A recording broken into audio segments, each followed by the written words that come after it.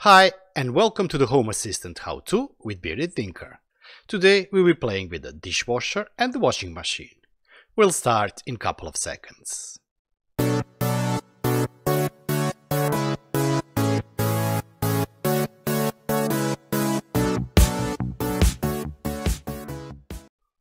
Before we begin today's episode, I would like to thank all the members who have joined my channel. Thank you very much, because your support really means a lot. And now, let's get started with the video.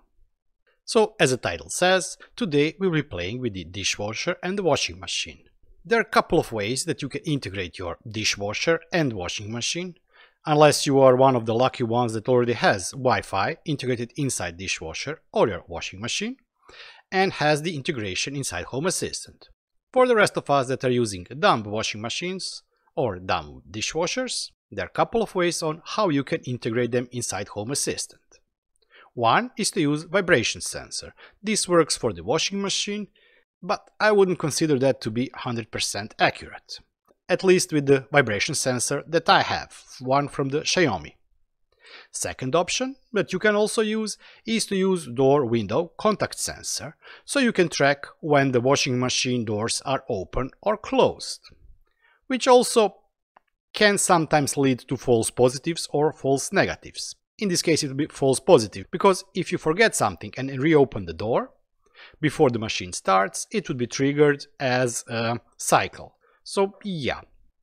Third option is to use smart plug, something like Shelly Plug S that I'm using myself, to track the power usage of those devices. And let's look at the differences between the dishwasher and the washing machine. If we look at the power usage for the dishwasher and washing machine, you can see that there are two differences. First of all, dishwasher looks like it is really pulling up much more power than the washing machine. This peaks above 2000 watts, while the washing machine goes to somewhere around 1500 watts.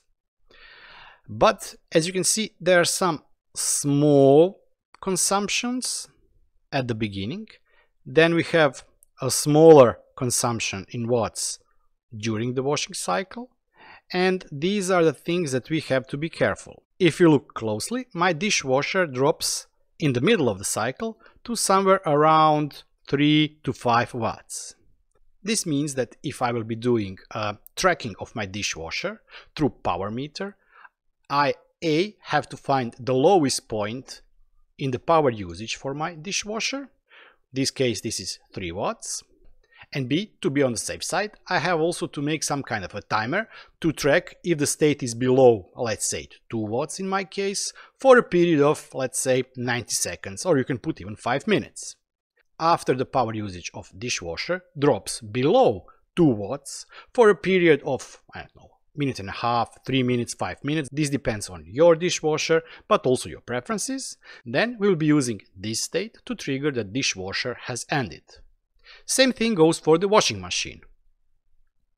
When it starts, it starts with a very low power consumption of around 8 watts, then it jumps to 1500, drops to 93, jumps to 900, and then slowly drops. The lowest point for my washing machine is power consumption of 1 watt.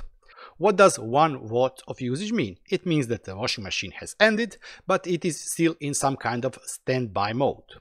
So what I can do, I can track if the power is below 2 watts, that means that the washing machine itself has ended, but I didn't push the button to turn it off. What about the start? As we can see here, both machines have usage of around 3, 5, 9 watts up to 8. So if we use following rule to start the cycle or to detect the cycle has started, we can say that for example, if power usage of dishwasher or washing machine is above 2 watts or 3 watts for a period of 5 minutes, it means that cycle has started. The big question is, do you really want to automate your dishwasher or washing machine? Well, yes, but the answer is also not that simple. First, we have to detect differences between the washing machine and the dishwasher.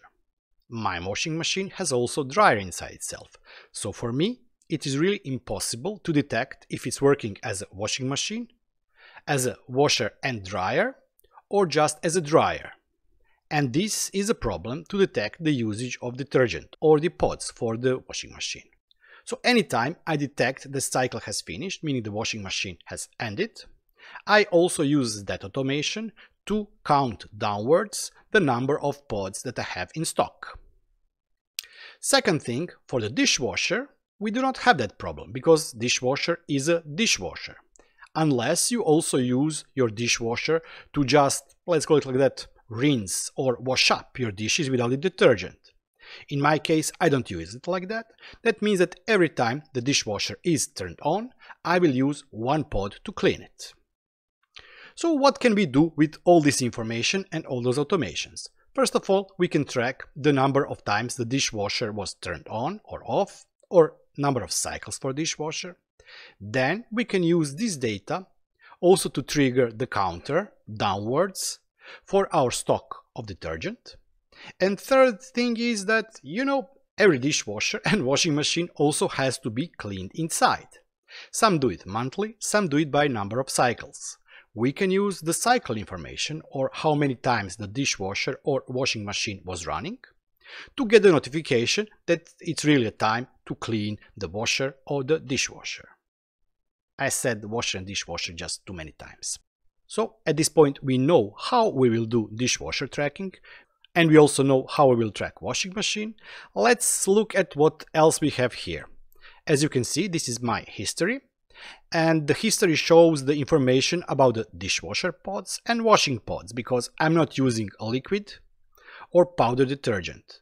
For both washing machine and dishwasher I use pods. Why? Because it's much easier to use and B, for Home Assistant this really helps to track the stock because Sometimes you could pour a little bit more power than the next time, same goes for the liquid detergent, so it would be really hard to determine what is the current stock of your detergent. Let me jump to my configuration. As you can see here, I've added two counters, one is called dishwasher pods and the other one is called washing pods.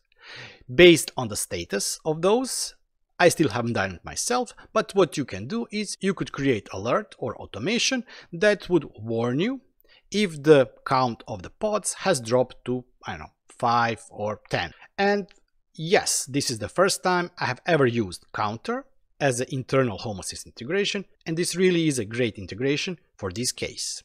What counter does? Counter creates a counters that can count either upwards or increasing or downwards or decreasing. You create a minimum and a maximum value. You create steps, so for us it will be one because we are using only one detergent or one pod per cycle. And then you can use counter service, such as counter increase or counter decrease to decrease or increase the number that you are counting. So for us it's great. There is also additional option, counter reset, that allows you to reset counter back to the original state that you defined when you created counter.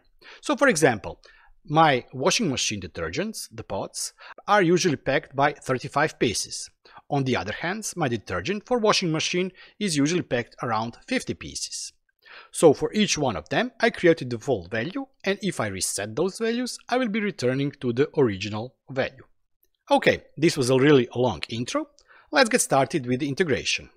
In this video I will be using internal automation editor inside Home Assistant plus helpers from Home Assistant. If you want to see how I've done it, you can check my GitHub repository. I will be posting a link to the code for all the automations and all the input sensors and counters I created for this automation. First let's go to configuration and we will create a couple of helpers. First two helpers will be counters for the pods, one for the dishwasher and the other one for the washing machine add helper, counter, dishwasher, pods. For the icon, I will be using MDI dishwasher because yeah, there is a dishwasher icon. Minimum value will be 0. Maximum value for the dishwasher, let's say that it can be 100. Initial value will be 100 when I reset it and the step size is 1 you can leave this box ticked on and that way the counter will restore the last known value when you restart your Home Assistant. Let's press create. And next, let me create the washing machine pods counter.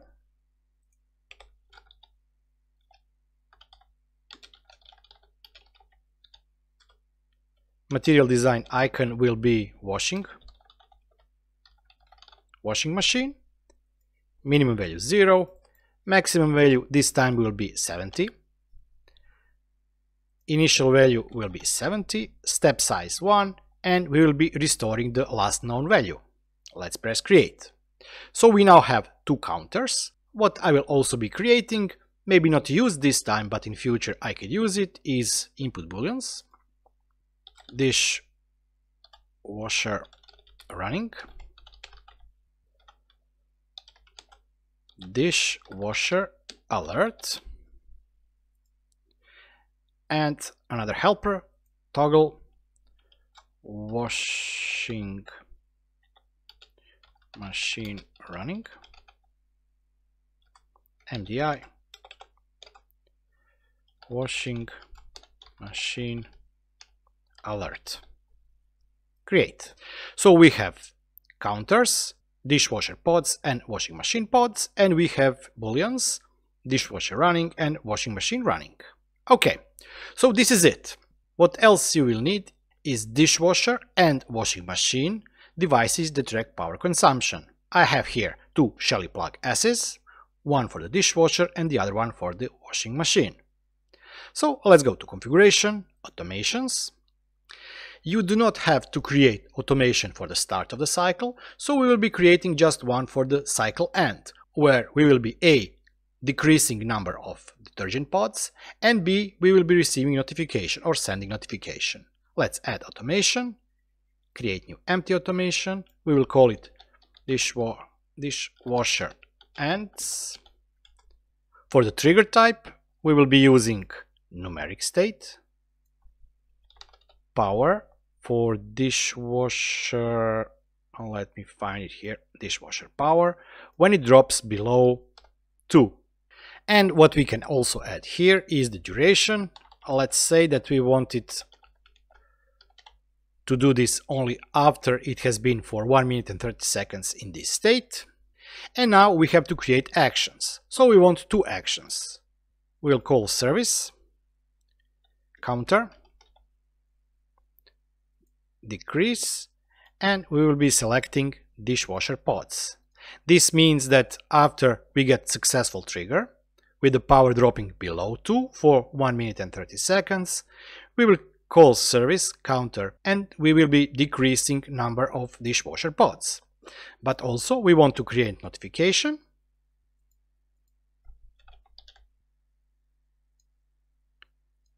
and for this I will be using Telegram message dishwasher finished.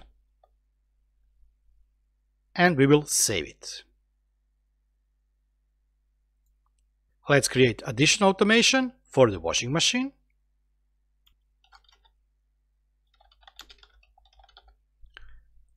Once again, we'll be using numeric state for the washing machine. Power, when it drops below 2 watts, for period of 0, 0, 0, 1, 30, 1 minute and 30 seconds. We will call a service counter decrease for the washing machine pods and additional call service notify message washing machine done. Open door to prevent mold for example or you can do whatever you want. Let me just fix typo here and let's save. So we have created two automations. If you want to be tracking the status of your washing machines what you can do here is also add additional action call service, input boolean, turn off, and washing machine running. By adding this here, we can now track if the machine is running, washing machine is running or not. For this to work, then you would also need to create two additional automations, one for the dishwasher and one for the washing machine, to track when the power usage goes above 2 watts, for example. And there you would trigger input boolean turn on. That way you can have automation that would be used just for tracking if the washing machine is running or not. Let's save this. So what can we add here? We can add two things. Counter washing pods and counter these washing pods. Save. Next time you run your system and it finishes, because we are triggering this only on the finished event, the number of dishwasher pods and washing machine pods will be decreasing. So what happens if you by mistake, I don't know, turn on and off machine and you know that the pod itself wasn't used?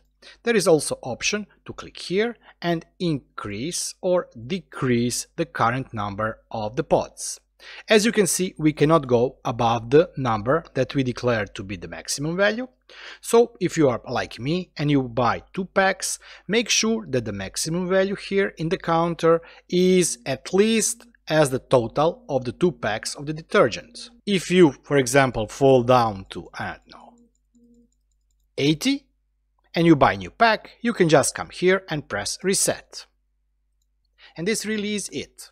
The next step for you can be of course to create automations if the counters drop below the threshold. This value is all up to you. So for example, if the pods drop to below 10 or 5 or 1, you get the notification that you must buy a new pack. The second thing that you can do, of course, is something that I mentioned before, is to count the numbers that the washing machine was turned on or off, or cycles. You can do this by creating additional helpers, such as counters, and there set the maximum number of cycles you have to do on your dishwasher or washing machine to initiate the cleaning procedure, whatever the cleaning procedure for your dishwasher washing machine is. As I said previously, in the description of the video I will be posting a link to my GitHub repository when you can find those automations. Well, not maybe all of those automations, but there you will always have up-to-date automations and all other things that are related to this video and washing machine slash dishwasher integration. But there is one specific device for the dryers. I haven't seen it for the dishwashers or washing machines, but for the dryers, if I, have read correctly, it is used to detect if the dryer is working or not. And this is it for this edition of Home Assistant How To with Bearded Tinker. I really do hope that you enjoyed this video. If you have any kind of question, comment or suggestion on how to improve this, please contact me on the Discord or leave comment down in the comment section below. If you still haven't subscribed, subscribe and hit the bell button and I will be seeing you next time. Until then, bye bye and have fun.